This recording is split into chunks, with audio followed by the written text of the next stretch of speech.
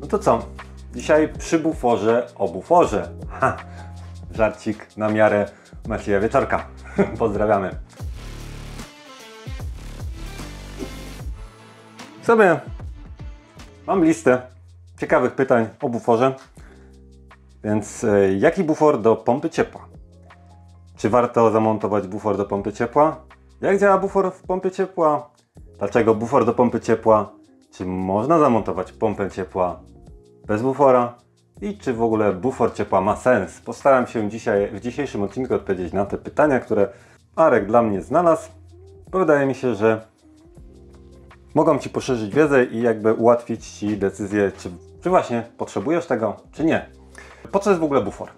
I czym w ogóle jest bufor? Bo ja miałem chyba już odcinek a, o tym, ale może takim słowem wstępu. Bufor to jest większe sprzęgło, a sprzęgło w instalacji jest po to, żeby równoważyć różne przepływy po stronie źródła ciepła, a um, obiegów grzewczych czy też odbiorników ciepła.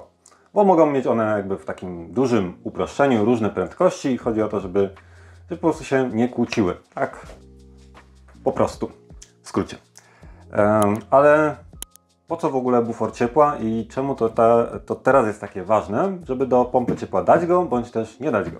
Natomiast bufor ciepła, tak jak wspomniałem wcześniej, to jest takie przerośnięte sprzęgło i to ma jeszcze dodatkową funkcję, bo buforu, buforuje, czyli jakby zapewnia zapas energii dla źródeł ciepła, ale też jakby zbiera jakby nadmiar energii ze źródła ciepła. I to jest clue, jeżeli chodzi o pompy ciepła i też ważny niuans czasami w przypadku kotłów gazowych. Chodzi o to, że dla pompy ciepła bardzo ważne jest, żeby pracować długo, a później długo odpoczywać. No generalnie nawet długa praca bez przerwy też jest lepsza niż takie ciągłe włączanie, wyłączanie. A, chyba teraz powiedziałem dobrze. Bo tak, pompy ciepła, czemu nie lubią włączać się? Teraz jak zacząłem o tym myśleć, to oczywiście ja wiem, jak się mówi to poprawnie. Włączać. Włączać, dobrze, włączać. E, więc pompy ciepła nie lubią się włączać zbyt często, dlatego że szczególnie przy zimnych temperaturach, za każdym, do każdego włączenia pompa ciepła najpierw musi rozgrzać sprężarkę, żeby nie pracować na zimnym oleju. A nawet jak się rozgrzewa, to nie rozgrzeje go aż tak bardzo, jak rozgrzeje się w momencie, kiedy już zacznie pracować. Więc nie ma takiego idealnego smarowania. Więc jest to po pierwsze marnotrawstwo energii na to, żeby się rozgrzać sprężarkę, a po drugie no, skracamy żywotność z każdym cyklem załączenia, bo jakby też w danych każdej sprężarki jest nie tylko opisana maksymalna, jakby deklarowana ilość godzin pracy, która ta sprężarka może wypracować, ale też ilość startów. I jakby w przypadku, kiedy sprężarka będzie włączać się i wyłączać zbyt często, no to tym ją szybciej, że tak powiem, e, doprowadzimy do emerytury niż samą ilością godzin. No i też odbije się to na naszych rachunkach e, elektrycznych. Więc tak pokrótce. Mam nadzieję, że coś z tego ma sens dla Ciebie. Natomiast bufor ciepła po prostu może pozwolić pompie ciepła pracować dłużej, bo sytuacja najbardziej niekorzystna dla pompy ciepła występuje wtedy, kiedy mamy okres przejściowy, bo pompa ciepła, przynajmniej ta powietrze-woda, czyli taka w sumie najbardziej popularna w tym momencie w Polsce, no ma charakterystykę taką, że im cieplej na dworze, tym więcej ona generuje mocy i tym ma też większą tą moc minimalną. No bo łatwiej pozyskać ciepło z ciepłego powietrza na zewnątrz, niż kiedy jest to powietrze chłodne. Z drugiej strony mamy źródło ciepła, a czyli odbiornik ciepła, czyli dom, który ma coraz mniejsze zapotrzebowanie na ciepła, im jest cieplej na zewnątrz. No logiczne, logiczne.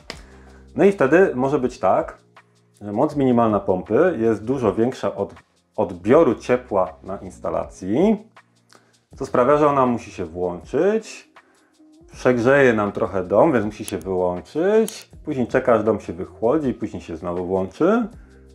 No i jakby pół biedy, kiedy te cykle są na tyle długie, że powiedzmy pompa ciepła ma szansę pracować 30-40 minut, to jest jeszcze spoko.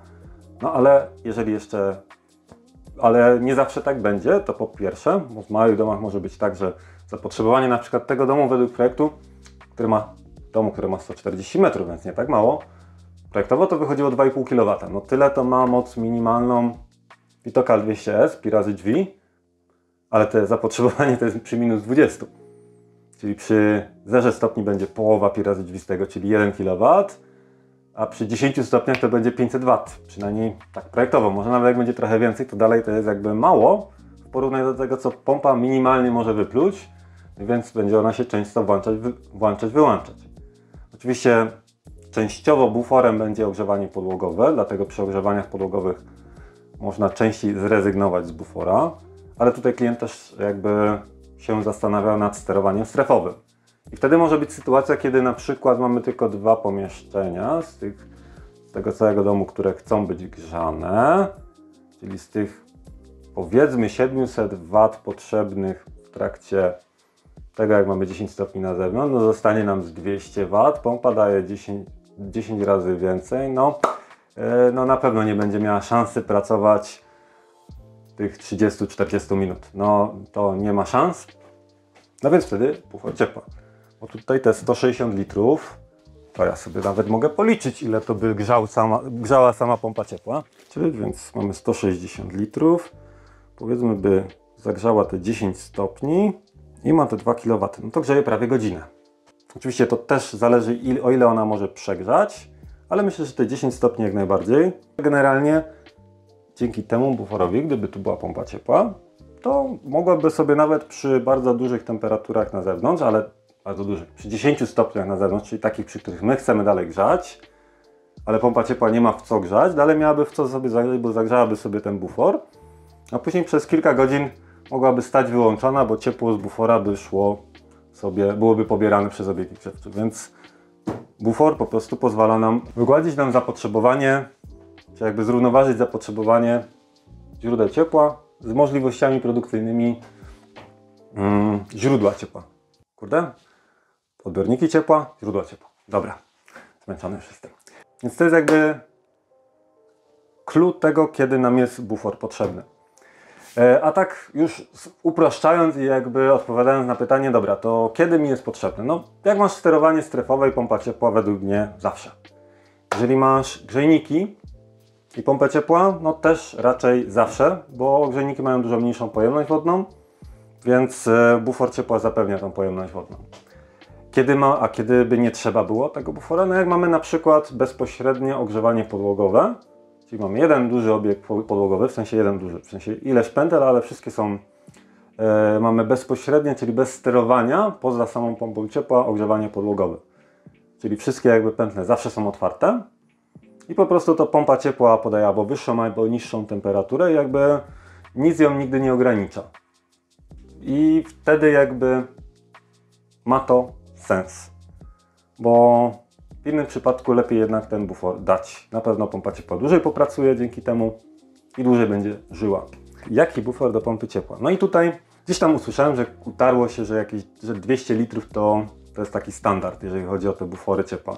Jak dobrać bufor? No generalnie bufor dobieramy tak, żeby pompa ciepła nawet w naj, tych najmniej korzystnych dla niej sytuacji, najmniej korzystnych z poziomu odbioru zapotrzebowania ciepła naszego domu, żeby dalej mogła sobie te 30-40 minut popracować. No i myślę, że w zależności od mocy minimalnej pompy ciepła do zapotrzebowania budynku, no to tak, e, to dopiero wtedy możemy to wyliczyć. Pewnie w ciemno 200 litrów zawsze zazwyczaj nam wystarczy, no ale jak już byśmy mieli jakiegoś dużego klocka, w dużego klocka pompę ciepła, dużą, dużą pompę ciepła o dużej mocy minimalnej, no to wtedy może być ten bufor większy potrzebny. E, więc tutaj na to pytanie tak łatwo nie jest odpowiedzieć. W ciemno dla uproszczenia można by przyjąć 150-200 litrów minimum, jeżeli mamy sterowanie strefowe, czy też żeniki. Ale tak, żeby być pewnym, to zawsze by to trzeba sobie przeliczyć po prostu e, jak długo pompa w najmniej, najmniej, korzystnym momencie e, musi ładować zbiornik i ile potrzeba wtedy minut, żeby to było te 30-40 minimum. No i chyba to było wszystko, bo i tak już się trochę nagadałem. Chyba, że Arkowi jakieś się pytanie jeszcze pojawia. Nie, raczej nie. A, może jeszcze o kotle gazowym, bo tak w sumie opowiadam o tym buforze i o tej pompie ciepła. A czy w ogóle dla kotła gazowego ma sens bufor, czy nie ma sensu? No to to znowu jakby to zależy, ale to zależy w sumie od prostego, przynajmniej z mojej perspektywy, czynnika. Jeżeli mamy kocioł gazowy przepływowy, czyli Wszystkie w zasadzie wiszące kotły to są kotły, które grzeją. Nie mają prawie żadnej pojemności wodnej, czyli tam wody jest parę litrów. i potrzebują cały czas mieć przepływ wody, żeby móc pracować, no to jeżeli nie zapewnimy im tego przepływu, no to nam będą kiepsko pracować w dużym uproszczeniu.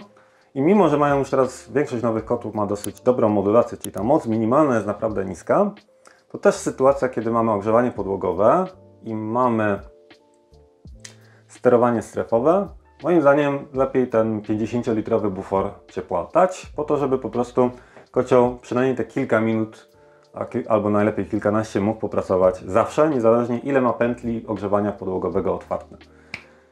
I w zasadzie tyle mu wystarczy, bo kocioł gazowy to nie pompa ciepła, jemu aż tak nie szkodzi taktowanie. Też zawsze to są jakieś straty, bo też każdy start to jest najpierw przedmuch komory spalania, czyli wychłodzenie komory spalania, później jest zapłon, czyli no nieidealny nigdy proces spalania tego gazu, więc też są straty. Natomiast, no i jeszcze samo zużycie też elementów, które też z każdym startem, no wentylator musi złapać odpowiednią prędkość, więc też trochę bardziej łożysko się wychodzi. Są takie już bardziej niuansowe sprawy niż w przypadku pompy ciepła. Natomiast e, dalej, jakby jeżeli mamy ogrzewanie strefowe, ja bym zawsze ten bufor mały 50 litrowy dawał i mamy wtedy święty spokój, na pewno będzie działać to super.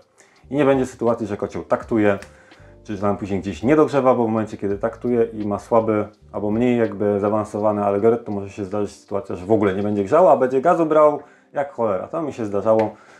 No i wtedy później jest problem, no bo gdzieś jak trzeba ten bufor już wcisnąć, jak był nieplanowany, y, no to mimo, że 50-litrowy bufor jest mniejszy, no to, to dalej sporo tych gratów musi wylądować i kosztuje to na pewno więcej niż na start. A film o taktowaniu kotła mamy tutaj, także jakbyś chciał ten temat zgłębić, to tutaj Cię zapraszam.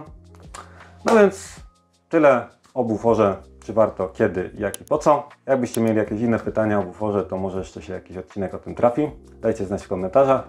Ja tymczasem Wam serdecznie dziękuję za uwagę. Pozdrawiam i do zobaczenia za tydzień.